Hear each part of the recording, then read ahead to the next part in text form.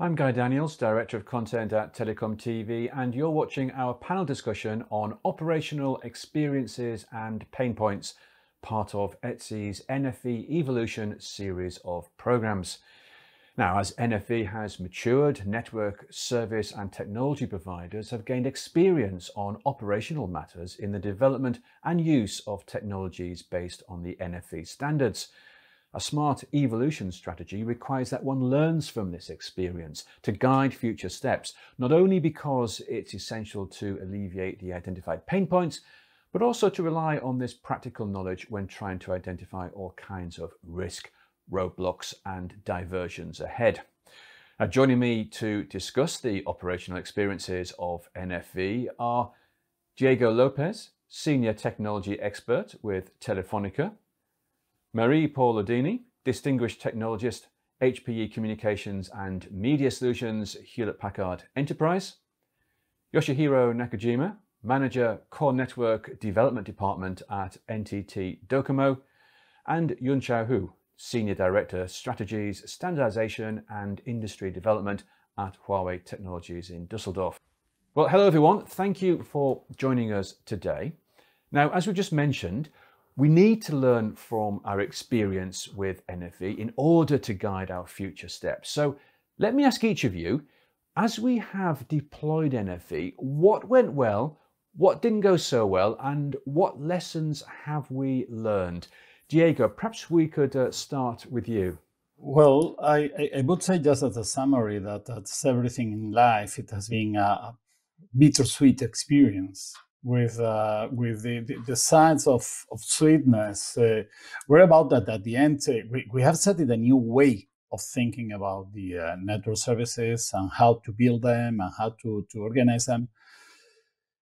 Though it has not been as uh, quick and the impact has not been as uh, as uh, deep as we expected. At least in the in the in the time of the left time of the of NFV that is about to be is close to ten years, if, uh, roughly speaking. Probably it's a little bit less, but we we can talk about that decade anyway. Uh, the um, the, uh, uh, the, the uh, as I said, is we, we have found hurdles that are not only technical. For sure, there are technical things where you, you start anything that uh, that is a new technology. It takes time. It takes time to analyze which are gaps with the existing uh, technologies, and you have to struggle with the with the operational experience. But I would say that the main problems have been that well the environment, I mean, the telco environment is not precisely the most appropriate for revolutions uh, because of several reasons. One is that is because of the nature of the of the network itself. We're talking about critical infrastructures. We're talking about uh, long uh, long established uh, uh, legacies that are difficult to to to uh, change, and the, the industry itself uh, the last uh, revolution it went through was during the, the introduction of the new mobile telecommunication, etc. And the solution that the uh, most of the operators, if not all, followed was to build a completely new network. Uh, I joined Telefonica 10 years ago, almost uh, to start with precisely with NFV and all the like. And it was surprising for, to me to find that the mobile network and the fixed networks were essentially separated. And uh, well, this time we were not able to do so. And, and this is something that has been precisely the main pain points have come in the, in the, in the touch points with the existing infrastructure, with the existing services, with the new services that were enabled by the um, by the advent of NFV. And there are still challenges that we have to uh, uh, we will have to deal with uh, though at the end, I'm, I would say that the balance, at least to me, that I'm uh, probably is because I'm uh, optimistic by nature, is that the, the balance is good. We are starting, we are, we are witnessing the start of a, of a very deep transformation, not as deep as we expected, not as quick as we as we expected, not as uh, uh, not, not as, as as much a revolution as we expected, but uh, another factor for for revolution. Thank you, Diego. And Marie-Paule, um, what, in your opinion, went well, what perhaps didn't go well, and, and what lessons uh, uh, have you taken away from the, the progress we've made on NFV to date? Well, I would say that um, I, I, think the good uh, lesson is that uh, it's been adopted and uh, now it's really mainstream, you know, for operators. Um, it's always in the RFPs and we're working, you know, with uh, every service provider, I mean, knows about NFV and, uh, and deploys NFV. Uh, what took some time was the, the adoption of the full ETSI NFV blueprint. So we really uh, started with uh, NFVI deployment and uh, most operators, uh, they have kind of uh, streamlined on, uh, on NFVI and they have really decoupled hardware from software um, with a virtualization layer. So I think this went pretty well and we've been, you know, very active in most of the accounts providing this type of solutions. and then with the VIM as well. The VIM has been, you know, very successful day one. Uh, of course, you know, there's been uh, some challenges uh, between the products and the open source and uh, all these new release coming, you know, every six months or so, you know, of a new version and, uh, you know, having to deal with that and making choices on the version and, and adapting, you know, with, um, you know, the environment. Uh, but but this is, I think, uh, pretty mature now. Uh, what took more time was the rest of the NFV MANO. Um, so we started, you know, with resource orchestration, and this is now quite common uh, with most service providers, uh, especially with some of the services that uh, have started, you know, to adopt NFV. Uh, things like virtual CPs, things like uh, virtual EPC, especially, you know, maybe some dedicated virtual EPC for IoT, uh, because I mean, still lots of operators, as Diego was mentioning, you know, had legacy. So EPC was already there. Um, and uh, it's not so easy to justify the business case, you know, to move to NFV. So most of, I mean, lots of operators had to find the proper business case for NFV, uh, which is probably one of the reasons why it took some time to actually have ETSI NFV, you know, uh, really coming to reality. Then, of course, there was 5G. Uh, which uh, adopted ETSI-NFV uh, and with uh, you know the 3GPP ETSI-NFV uh, alignment. Uh, I think it's been uh, really stimulating the market in terms of NFV deployment.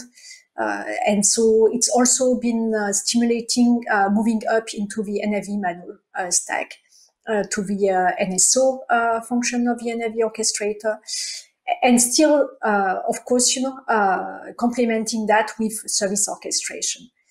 Maybe, I mean, and I know that something that I've been uh, trying to push in uh, ETSI-NFV uh, almost since the beginning. Uh, what we faced uh, in deployments was um, the the fact that you know ETSI-NFV was not really dealing with the connectivity and the integration with SDN and and so on. So in most of the deployments, we had to complement the ETSI-NFV blueprint with uh, a service orchestration that would uh, bridge, uh, you know, the, the RAN with the core and so on and deal uh, with uh, the SDN controllers and so on. And, and, this part, because it's not really standardized, uh, has been, um, you know, somewhat a kind of case by case or up to the vendor implementation. Um, apart from that, I, I, would say, you know, that uh, now the market is uh, much more aware of ETSI-NFV and uh, what it means. But still, we still see some operators uh, and, and yeah, people in the industry which still need to be educated. So I think it's good that, you know, is providing uh, some uh, training capabilities. I myself, you know, had to deliver some trainings to operators and so on, just to make sure that everybody was a bit aligned on, on the objectives. And, uh, and as we see, you know, the evolution towards 5G um, and the cloud native, uh, we probably now have a new generation of uh, to be much more container and uh, cloud native um, focused. Thank you, Marie-Paule. Um, I'm sure we'll get back to the you know the, the future of NFV and, and this this next generation and where we go next. Um, but, but, for now, Yoshihiro, what about you? What do you think, in, in your experience, what went well and perhaps what didn't go so well so far in our NFV story? So uh, our Docomo has uh, uh, introduced the NFV system uh, since uh, 2015, 15. Uh, and the first target is EPC, and we expand the NFV scale to meet our network services like uh, IMS, uh, HSS, uh, lots of services are already virtualized. And recently, our virtualization percentage of mobile core network system is going to 50%. And our Docomo thinks the NFV is a normal cases in the, and also uh, we try to uh, introduce a new technology like uh, 5GC, uh, other uh, fundamental uh, mobile network system for next decade. And uh, also, uh, we get a lot of benefit from introducing NFV system. Um, first one is a lower TCO cost, and we can reduce the uh, hardware cost uh, with uh, decoupling the software and hardware using the COTS servers. And also we can improve the operational efficiency, like you know, the NFV provide a kind of auto healing mechanism. In the past, uh, we need to uh, go to the several data center to fix the hardware failure. But now uh, we can uh, automate such kind of uh, labor processes by automation tool or other MANO capabilities. And also, uh, we think uh, NFV, uh, you know, the HNFV has a lot of progress in the standardization to realize the lifecycle management of NFV system. Um, that will be great for the merge vendor configuration in the telecom space, especially uh, our uh, infrastructure, NFV infrastructure is uh, unified uh, for the merge vendor applications. And the life cycle of the application is done by the unified way. So that uh, allows us to control such kind of uh, application from the center side. So we can, yeah, reduce the uh, di differentiated uh, rate of the uh, management and uh, so we can simplify such kind of system. Thank you, Hiro. And finally, Yun Chao, um, your thoughts as to what lessons we've learned and what went well and perhaps what didn't go so well? Yeah, that's a good reflection on on uh, what what we have done. I mean, uh, we we participated actually in the first NFV meeting uh, quite some some time ago already in that in that area, and and it started with with uh, let's say the the understanding that we would like to go to the hardware software separation in the telecom functions, etc uh, like Marie-Paule already mentioned. And I think this is one of, of the success factors that we have done and managed, uh, let's say what we call the NFVI, so the infrastructure perspective of NFV. Um, when it comes to, to uh, cloudification, uh, we already there in that perspective as well. Um, when I left NFV, there was a lot of discussions on, on cloud native applications and, and infrastructure that need to be supported uh, in, in, in, the NFV area. So uh, th there's already quite some successful, let's say, uh, standardization specification work. Um, also, the the impact that NFV had in, in other areas, like in the 5G evolution, is of course a very important one where you see cloudification of functionalities has been driven, let's say, by the concepts and principles of NFV as well. So I think it's a, it's a good, let's say, um, evaluation of, of how NFV is used and, and etc. And uh, looking into the different perspectives of, of uh, uh, the, the, the, the usage of NFV in a deployed environment. Uh, of course, simplification of uh, operational, let's say, functionalities would be needed in, in that in that area. It is still cumbersome to to drive, let's say, an, an, an good, uh, let's say, uh, NFV deployment in, in that area. But this is, let's say, what we are working on, uh, not only by the ISG NFV, but also other ISGs uh, within ETSI are working on that, like, for instance, the zero touch management capabilities uh, that are there. Um, there is, of course, one important aspect that, that maybe we have not realized so much as we intended to do. In, in the beginning, uh, let's say in the first white paper, we, we thought about a marketplace of uh, uh, network function for, uh, functionalities that could be easily be deployed in the different areas uh, for, uh, let's say, on top of an NFV infrastructure. I think uh, plug and play is, is not that easy to do in, in that area. So it, it is still uh, some improvements that we could work on that in, in, in the future in that uh, as well. Then I think um, NFV is, is of course uh, triggered and, and driven by by the, the, the, the let's say the carrier, the, the, the operator, let's say uh, perspectives. Um, now, since I left NFV already some four years ago, I went into the industry vertical, let's say, standardization uh, in that area. And there is a lot of, uh, let's say, opportunities and also uh, possibilities for NFV to, to drive the integration of ICT and operational technologies, OT technologies in that perspective as well in that area. Um, it's common know that that uh, certain specific functionality uh, could be virtualized, could be more easier, let's say, made available in a cloud environment. We need to look into how this will match to, to different, let's say, edge environment as well. In that in that area, that is not only the edge boundary of a telecom operator, but could also edge boundaries of industrial uh, vertical domains, like for instance, uh, machines in, in smart manufacturing or, or turbines and, and smart energy, etc., where you see the integration of ICT and OT also happening more and more in that perspective.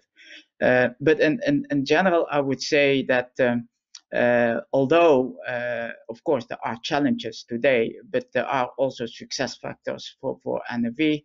Uh, as I mentioned, separation of hardware, software, uh, driving, let's say, the, the, the containerization of, of the infrastructure, uh, which makes it more possible to drive into native cloud, uh, let's say, support for different applications. We could, let's say, improve ourselves to, to a kind of an uh, open, transparent environment where different uh, functionalities, network functions could be made available. And in this context, I think also uh, evolution towards the towards the, the, the, operational technologies uh, could be beneficial to NFV as a concept and as a, uh, let's say, as a solution for cloudification of different operational technologies as well in, in industry verticals. Thank you, Yun Chao, uh, and all of you. In fact, you know, you've all been so closely involved with uh, with NFV over the years, and it's great to hear your assessments of, of where we are now. Um, Marie Paul, if I could move on now to we've all talked about the hurdles that remain in, in bringing NFV deployments into reality. You've mentioned, for instance, um, justifying the business case um, is, is, often one of them for telcos. But to what extent have the NFV standards contributed to either clear these hurdles or perhaps inadvertently cause more problems? Um, even internally, you know, uh, internally, HP, we have a telco portfolio uh, on the core of the network. 4G uh, and now 5G. And so even internally to uh, convince my colleagues, you know, to really move the portfolio to NFV, I had to convince them to go through the specs and read the ETSI specs. And it was quite, uh, you know, a challenge because it's uh, lots of work and uh, it's lots of specification and so on. And it's a bit the same for the operators, you know, to understand what it means for them to move to NFV they have to understand a bit, you know, what it means in terms of NFVI, of NFV MANO, all these different interfaces. What do they need to request to the vendors? So, I mean, in, in the end, it's, it's a bit complex. And if you add to that, uh, you know, the fact that you have different uh, implementations, um, and these different implementations may have specifics, uh, asking for different container format, uh, having some additional capabilities and so on, and and being updated, you know, with the agile model, you know, every few months. Uh, that that adds, uh, you know, a bit of uh, of complexity. Um, but I mean, this being said, uh, once people have understood, you know, uh, what it means, then they understand, you know, the benefit of uh, having these standardized interfaces and being able to request a special package format uh, to vendors and a special descriptor format. And then they have, you know, the automated, the centralized lifecycle management, which then makes things much easier than having to deal, you know, with each uh, individual solution, uh, like in a silo. So, um, I mean, there is a bit of effort upfront, but once you've done that, uh, I think, as Docomo mentioned, you know, there is a real benefit of having a, much more flexible and centralized uh, management of the end-to-end infrastructure. So not just not just the core, because as we see, you know, the RAN is being virtualized as well, and so it's like your end-to-end network that is being uh, virtualized and can be managed centrally, including uh, going to the enterprise, as I've mentioned, the virtual CPE is a good example.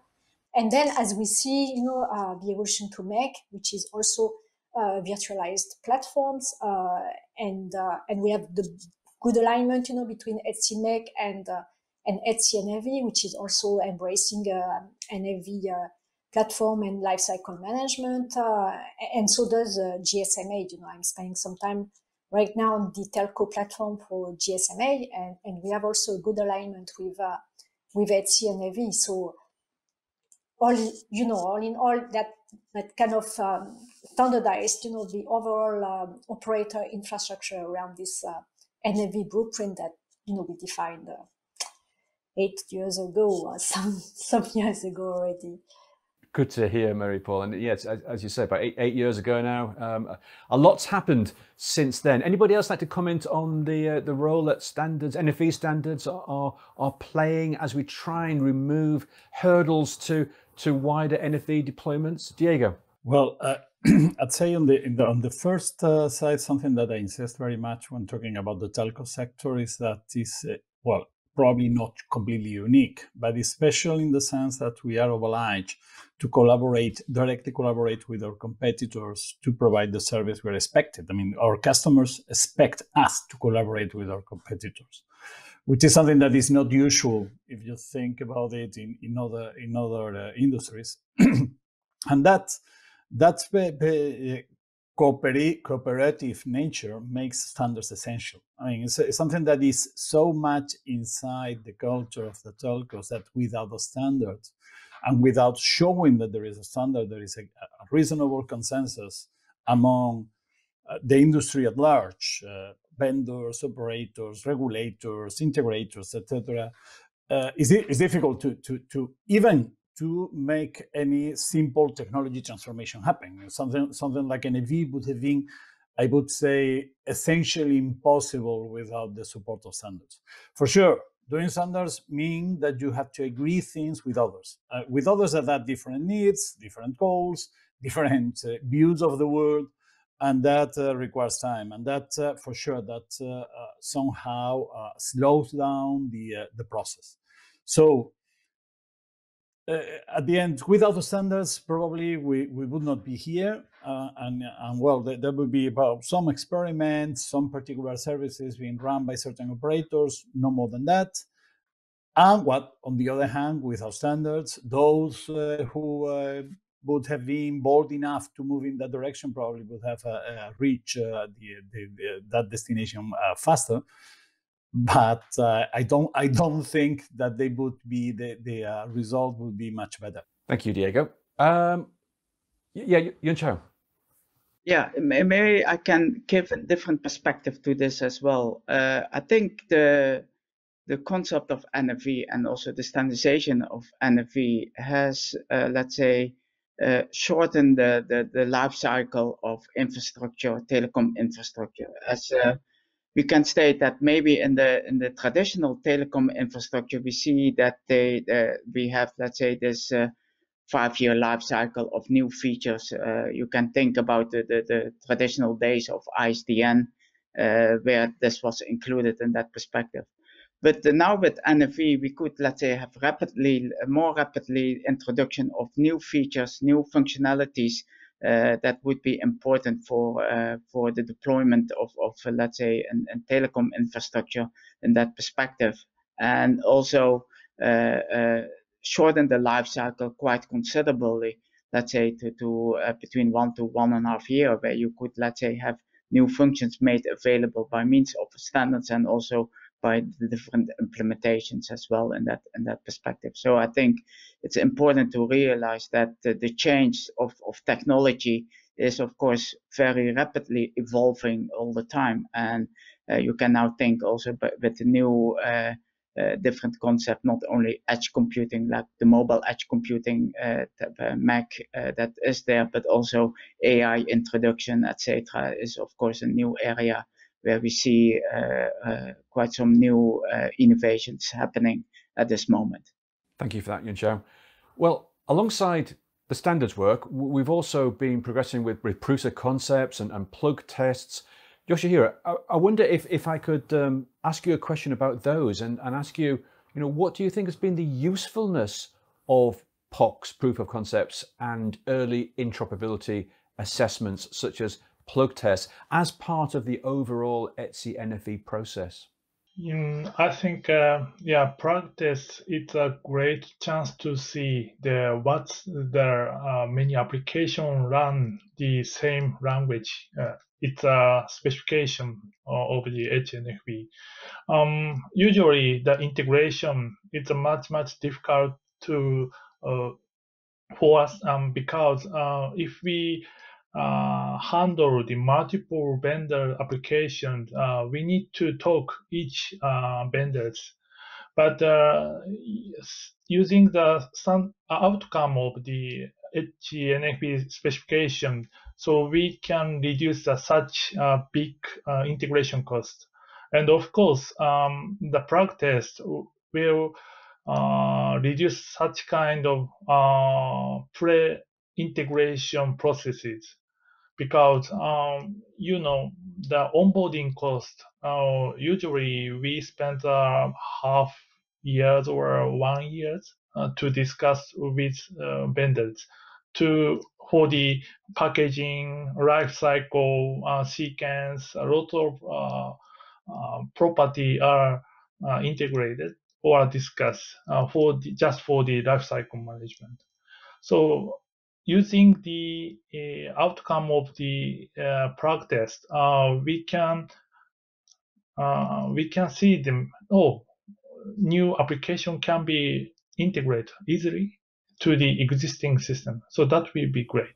That's good to hear. Anybody else like to comment on the, the role that POCs have played and also that, that plug tests continue to play in the process? Just uh, no, just to mention a couple of things. Uh, plug test is uh, going on, and, and the, and the thing I like uh, best of it is that plug tests are, are evolving, like uh, Nakajima-san was saying, into into application integration. And, and right now include MEC applications, or, or they have been collaborating with other initiatives like uh, CNTT from the Linux Foundation, for example, in the past. And uh, on the other hand, when it comes to pr proof of, of, concept, at the beginning, where they were simply that proof of concept. But right now, uh, what I think is even even well, even more important right now is about involving the research community. There is a lot of things still open that we have to play with, and that we have to uh, get some sense in which the direction of the uh, of the standards uh, should, uh, what the direction of the standard should be and in that respect, relying on the uh, on research groups and research projects is something important. And, and, and right now, proof of concept, uh, the proof of concept uh, framework is becoming a way of showing the results of this uh, research. Thanks, Diego. Uh, any, any more more comments about uh, the role of, of plug tests? And as Diego mentioned, you know, trying to involve the research community more. Marie-Paule? Definitely, I think um, the POC framework and the plug test that we've been doing for years now has been critical to the success of ETSI I think, especially, you know, uh, at the beginning and as we were expanding the scope and uh, getting more vendors to really prove uh, point, you know, the integrations and, uh, and the, the gaps also on some interfaces and so on. Um, now, as Diego mentioned, you know, uh, I think it's more to reach out to the broader community. Um, if I speak, you know, uh, on behalf of HP, um, I mean, now, we, you know, we have, um, we are involved in projects, you know, we get exposed to uh, many vendors that we have to integrate in operators network with our NFV orchestrator, with, uh, you know, our platforms and so on. So it's not like we need to go to a plug test, you know, to get this exposure. But we have a number of other people uh, which either provide a VNF, you know, for the MEC or the research community, the open source community, and so on, which uh, really benefit from having this plug test and uh, and POC, I think, and uh, and so then you know the more experienced people can can help with that. Um, so uh, yeah, I, I, think it's uh, it's got you know different uh, roles for different type of uh, actors in the industry, and it's definitely a, a great a great tool to continue to uh, to have. I think one thing what was uh, um, realizing for, for, for me is, is not only that we as vendors, of course, participated in, in many of these proof of concept just to to demonstrate, let's say, the, the technical feasibilities of different concepts that we had standardized.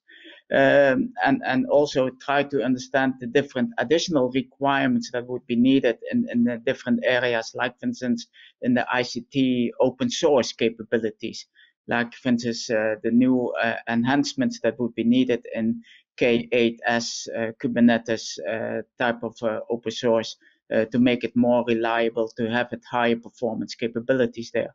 But one other thing which is important to realize, and I don't know if the others has, has let's say, uh, the, uh, has, has realized that as well, that when we started with the proof of concept, I think we also introduced or, or alerted or stimulated uh, more players to come into the NFV standardization as well in that perspective. You see suddenly smaller companies, innovative, uh, let's say, solutions that they are providing coming into the NFV area and, and really uh, uh, um, contributing that to the standardization area as well. So you suddenly you go from the traditional companies or participants that are there, let's say, in the standardization arena in ETSI and, and others, you had also a new inf, uh, in, um, inflow of, of different type of players as well into the standardization domain uh, in, in that perspective.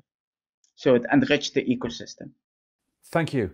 Uh, so has anybody else seen this? The the, the influx of, of new players um, is is this beneficial, and how exactly is it beneficial to the the development and deployment of NFV? Yeah, I, well, I think I think this is one of the foundational uh, ideas behind NFV. It was precisely to try to open up a little bit the, the playground, so so new players uh, could come. And it is always beneficial to have fresh ideas, to have uh, some uh, what new new kids on the block uh, bringing bringing what they what, what they want to play with that is not translated. I mean, from time to time, uh, and, and I guess that in, in many other cases, it's about uh, the management of expectations, because in a certain moment, probably people were expecting that uh, the uh, offer of uh, services, I mean, of, of, software and implementations, etc., would translate into instead of having 10 potential providers, we would end up having 100. And it's very much connected with this idea of the marketplaces, etc., that uh, Yun Chao was mentioning before. Uh, it has been different in that sense. I mean, it has been that the, the number of providers has expanded a little bit, but then the dynamics of the market acquisitions and all the like have uh, played against that about, about this uh, growth. So at the end, I would say it's good because it's uh, expanded uh, let's say mines or are, are, are brought new ingredients to the uh, uh, to the idea broth, but but but it has not translated into a much higher diversity of the of the offer, which is not bad. I mean, it's a it's a is, is part of the of what it was intended if you analyze uh, in depth how the market is right now. Well, let, us look forward a bit now, if we can. Um, Oh, Marie-Paule. No, no, I, I just wanted to, um, yeah, to, I mean, to reinforce the, the initial goal, you know, of uh, which was created as an ISG to really bring, you know, these new players. And, uh, and it's true that at the beginning we had quite a few new players which came, but then they were a bit uh, afraid, you know, by the standardization process and so on, and time and resources that this requires. Um, so we didn't keep so many uh, small players, you know, in the process. But then in the industry, we had uh, quite a few um, actors which uh, became now quite uh, relevant uh, in the market. So they are not maybe, you know, as um, as popular or as common as you know the the big players. Uh, but still, I think they are quite. Uh, I mean, they are quite mature now. They have solutions which have been deployed and which are robust and so on. We are working with a few of them uh, to provide uh, uh, full core, 4G, 5G core, and evolving to the cloud native environments with 5G core.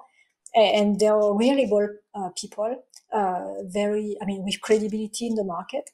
And it's also true in the RAN. Uh, so I, I, mentioned the vRAN, and, and there I see, you know, quite a, a number of uh, new players.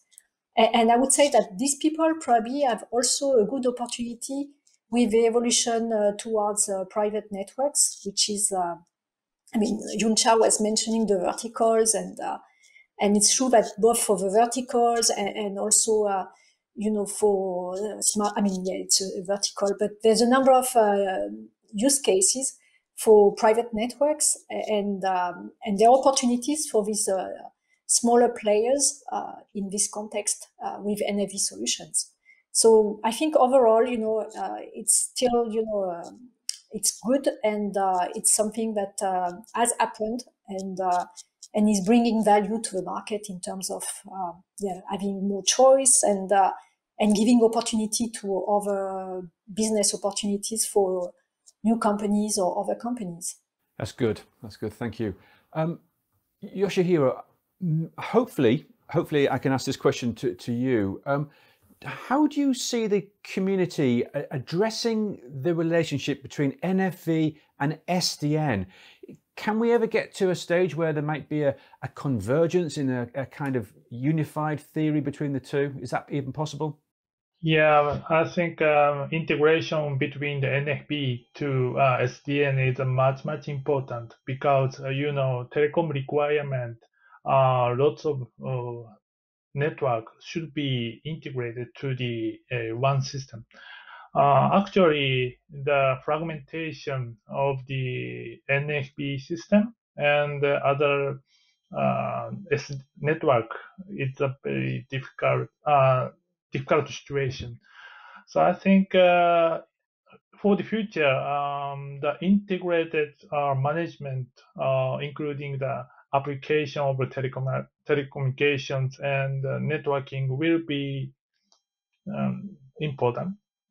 And also for the autom- automation or uh, end-to-end orchestration, uh, we need to control both of the uh, system but uh, you know, we need to collaborate with uh, other standardization bodies like uh, uh, IETF, MEF, to get the common agreement to realize the end-to-end automation.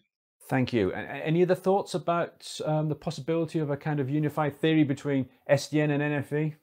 I mean, I've been talking about that since uh, almost the beginning, you know, when I triggered this uh, work item on SDN integration. And still, you know, eight years later, we still talk about it.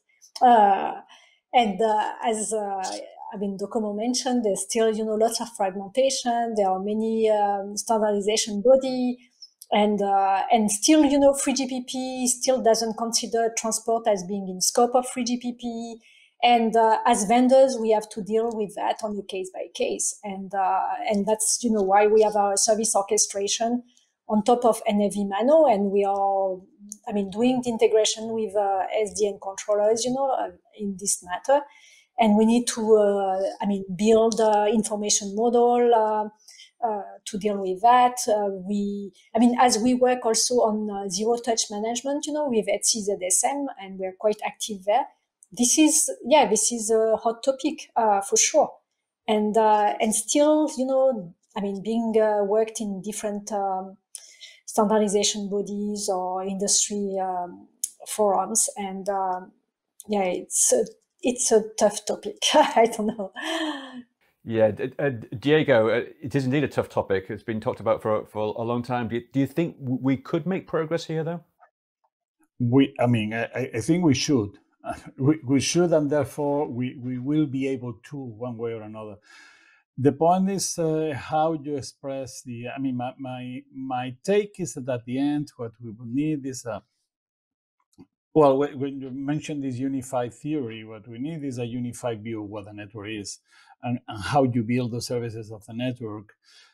Because at the end, uh, uh, well, NFV or what we know right now as NFV, which is the, the, separation of hardware and software, implementation by software and composition, lifecycle management, etc. And SDN, that is about how you configure connectivity and the different functionality along a particular path if you think about that, they are separated. I mean, they, they, they, but on the other hand, you can unify them precisely in a common view of the network, in the network as a, managing the network as a way in which you deal with it as a, as a, as a higher abstraction level. Then whether you're using MANO eh, or, or NFV MANO actions or you're using any SDN um, commands, etc. This is something that goes into into a level of detail that would not be in the at the level of the, you are managing the network services.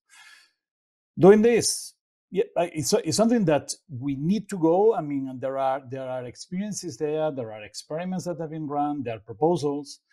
M many of them they are around something that probably is a term that has been a little bit overused. Uh, this is intent-based networking and all the like, probably because, uh, as many other things in life, uh, when, when, talking about intent or declaring intent for the network, there are many potential meanings. But this this idea of having a higher level of abstraction with a common uh, network view and a network service view is something that is the way to go.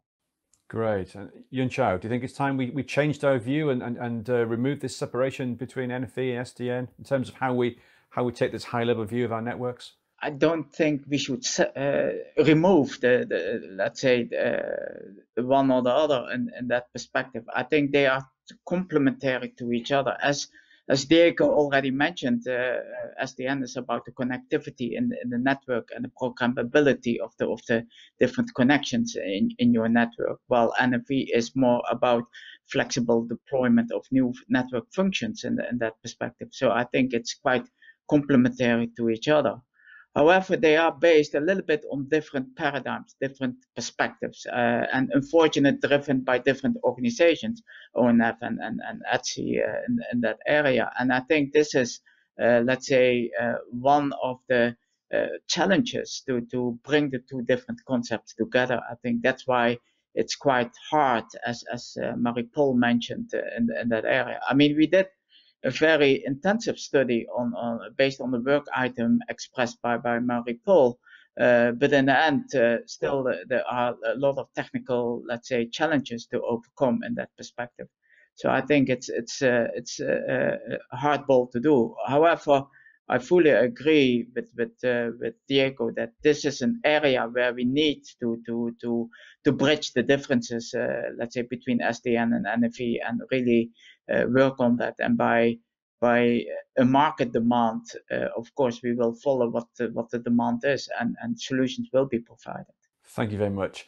Uh, well, for our final question, then, Marie-Paule, you mentioned earlier in our discussion uh, about future paths for, for NFV um, and embracing containers, etc. Um, what about the, the ongoing move towards cloud native in our industry? Marie-Paule, how do you define what's happening here and what is needed for the NFV community to, to embrace this and move forward? Yeah, that's a very hot topic because we clearly see, uh, you know, a major trend uh, in industry. I mean, we have built a 5G core and it's cloud native. Um, and, uh, and we see, you know, this uh, moving uh, you know, uh, in every parts of the network. Even the the RAN, you know, I mean, started with VMs for the vRAN and so on, and more and more people are talking containers for the RAN itself. So uh, this this move to something which is uh, simpler uh, than the VMs uh, for sure, which uh, in terms of cost, you know, it's a bit cheaper. Uh, and uh, in terms of uh, access to the technology and so on, it's, uh, I mean, yeah, it's more affordable. And so in, in the end, we need to embrace that. so ETSI NFV has started to really have some specification to explain, you know, how NFV can be applied or can be expanded a bit to support uh, cloud native environments. Uh, but we probably need to go a bit beyond. And still, we have uh, still this challenge between, you know, the theory of standardization and specs and so on, and implementations and and some uh, kind of de facto standard platforms that we see in the market, which also drive, uh, you know, uh, behavior and requirements so that's uh, yeah, that's really an, an area that uh, uh, probably needs uh, more work uh, from NFV to really align with what is going on uh, in the cloud native environment and provide proper tools, you know, for for either you know vendors but also operators. And um, and to me, I mean, this is this is definitely you know a good move as well because everything which simplifies uh, the deployment and the operation of a network uh, is good. Uh, and uh, and the footprint of containers, I think you know, uh, it's uh, commonly you know accepted that um, this is a very good model, you know, to have something that can scale down and can also grow, um, you know, as we get you know more traffic and so on, and is you know very agile. Um, which brings me to another important topic, which is the energy efficiency of our networks. I think, uh, you know, this, um, I mean, these coming years and, uh, and already, you know, starting now, uh, this uh, is uh, top of the mind of, uh, I mean, most of the operators and vendors as well. Um, and we can really benefit from not just NFV, but also this cloud native environment, um, to optimize the footprint, to optimize the uh, uh, the workload, the migrations, and so on, uh, to really reduce um, the um, environmental impact overall of our networks. And uh, and to me, this is you know one of the big uh, focus we should have with all these technologies. Thank you. And Yoshihiro, what do you think is needed for, for the NFV community to, to embrace and, and prepare for cloud native architectures? Um, cloud native is a very attractive uh, way uh, technologies. So, but we think uh, we need to think about how to introduce a new technology like a cloud native uh, container and uh, some application decompositions and microservices. So lots of pieces are um, so we have, and uh, we need to think about how to provide um, very long-term uh, operations. Like, uh, you know, the cloud native technology is to accelerate the development speed. But, you know, the telecom business services, so we need to keep the long, uh, stable communication service to the customers. Of course, uh, for the cloud native application, we need to introduce a new uh, infrastructure to support cloud native application like uh, Kubernetes and uh, lots of uh, PaaS functionalities. So the so we are uh, we try to learn um, practice um, a lot uh, on the uh, cloud how to cloud how to handle the cloud native application in telecom telecommunications. Also, uh, for the operational point of view, we need to uh, change a little bit uh, to the existing workflow to accept the cloud native application. So because, you know, the cloud native application is a more scalable, dynamic, and uh, lots of uh, tools are introduced. But for the uh, simplicity of the operation, uh, we need to uh, simplify such a way combination of the tools and the libraries and the environment. Um, so that's why we need a, a general rule uh, to uh, application uh, for the infrastructure usage or networking. So we need to uh, collaborate with a standardization body to find a good way to handle such kind of application. And also networking uh, connectivity is a much, much important. And, uh, you know, the container application uh, try to uh, simplify the networking between the uh, applications, like uh, service mesh or something. And lots of tech, network tech, technique are used in the implementation of the content application. Uh, but you know, the telecom application needs a, a handle to for the uh, complex networking to the uh, existing networking system. So we need to fill such kind of gaps uh, for the uh, future applic- uh, content application and cloud native application in telecom- telecommunications. Thank you. And, and Yun Chao, how do we ensure within the NFV community that we, we support current implementations in our telecoms networks and at the same time make this future proof, make this uh, suitable for all cloud native methodologies and architectures? Well, first of all, uh, we need to, to, to use uh, the, the capabilities uh, that are provided by, let's say, from the IT perspective. So, uh, Kubernetes is, of course, one, one, one strong example of that.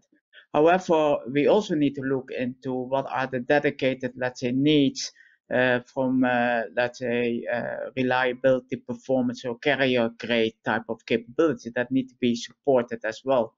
And normally they are not very well supported in an IT environment in that in that perspective because they are more related to the telecom uh, perspective. So I think it's it's important that we drive indeed uh, those type of enhancements uh, within their, uh, let's say, solutions in that area. So this is a combination of standardization, but also open source development that needs to be done in that area. And I think uh, this is a domain where uh, this, this uh, let's say, harmony between uh, standardization and open source is, is, of course, an important factor. So, so yeah, uh, Diego, uh, what are your thoughts about how NFV can properly support um, the move towards more cloud native in telecoms? Well, I, believe that the important thing here is that we had to know where where, where are the uh, uh, where we want to go and in which uh, which is the direction we have to follow. I, I, I see three different directions.